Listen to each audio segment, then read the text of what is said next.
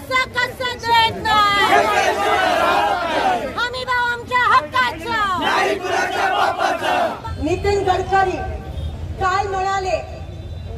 अनुदान तुम्हाला मिळणार नाही कारण का सरकारचे सगळे पैसे हे लाडक्या बहिणीच्या योजनेमध्ये गेल्या कोणत्याही शेतकऱ्याला अनुदान मिळणार नाही काल गावामध्ये मी गेली गावकरी म्हणाले आमच्या इकडे संजय गांधी निराधार योजना बंद झाली जेव्हापासून लाडक्या बहिणीची योजना चालू येणाऱ्या दोन महिन्यात सगळ्या योजना बंद होणार आहेत आणि फक्त तीच योजना चालू ठेवणार आम्हाला हरकत नाही आहे पण इलेक्शनच्या तोंडावरच का लाडकी बहीण योजना?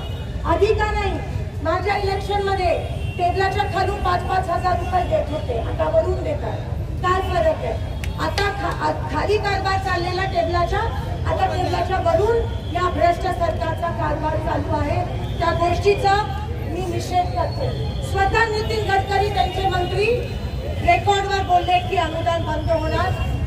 महाराष्ट्र सरकार हे बँकरप्ट झालंय दिवाळखोर झाले कारण का सगळे पैसे या योजनेत गेले पण माझ्या शेतकरी मायबापला काही. अहो आम्हाला महिलांना तुम्ही विकत घेणार आहात का? आम्हाला सुरक्षित व्हायचंय. आम्हाला सुरक्षित जीवन जगायचंय. आम्हाला विकत घ्यायचा प्रयत्न करू नका. हे बीजेपी सरकार महिलांना तुच्छ स्थान देतं. म्हणून बदलापूरच्या घटनेचा चार वर्षाच्या चिमुकल्यानं पण या बीजेपीच्या पदाधिकाऱ्यांनी सोडलं नाही. त्यांचे दोन्ही पदाधिकारी फरार आहेत आणि एन्काउंटर भलत्याचाच कोणाच्या तरी त्या ठिकाणी केला का करवला मला माहिती नाही. पण महाराष्ट्रात कायदा सुव्यवस्थाच राहिली नाही. आज जे सरकार शिवाजी महाराजांच्या पुतळ्यावर भ्रष्टाचार करतं त्या शे त्या सरकारला आपल्यासमोर तोंड दाखवण्याची पण त्याची त्या सरकारची लायकी राहिली नाहीये. आज शेतकऱ्यांचे अनेक विषय मग पाण्याचे असतील माझ्या मंगळवेड्याच्या चोवीस गावाचे प्रश्न असतील. मोहोळ मधल्या अप्पर तहसीलचा विषय असेल जो दमदाटी करून दुसरीकडे घेऊन गेले.